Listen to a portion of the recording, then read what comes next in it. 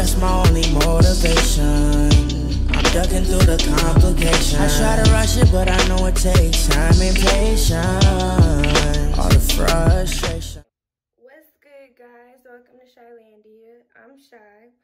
Go ahead and subscribe down below, and we're gonna get straight into the video.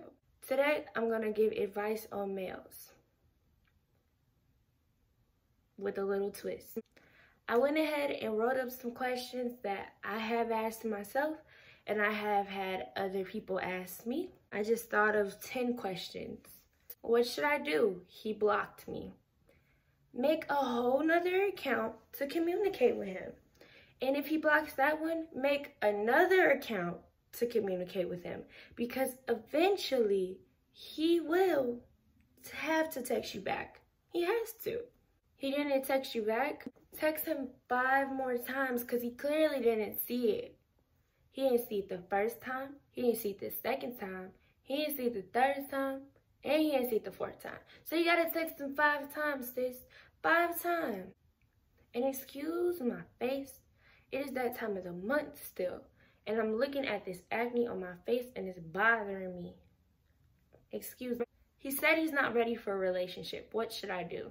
Keep trying to force him into a relationship because eventually he'll budge. He'll give in, sis. Go ahead, keep going. He only texts me late at night or calls me late at night.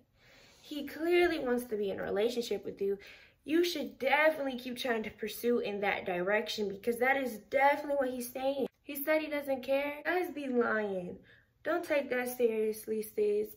He's just hiding his emotions. He doesn't really want to tell the truth because he's embarrassed. He doesn't take me out in public, but always is out in public with his friends. What does that mean? He's just nervous. He doesn't want to ruin you guys' relationship. He takes his phone off the aux cord just to pump gas, and every time we're together, he flips his phone over. You could get a call at any time, sis. He could always have a call. And then second, he just really wants to be there in the moment with you.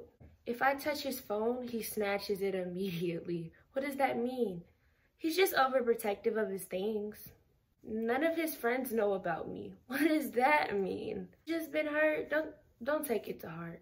He doesn't want to ruin the relationship. He only wants to see me at nighttime, either at my crib, his crib, or the hotel. What does that mean?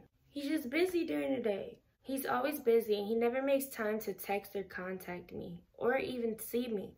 He's just a very busy man, sis. Go ahead and give this video a thumbs up if you liked it. Comment down below and please subscribe because we're trying to build this channel.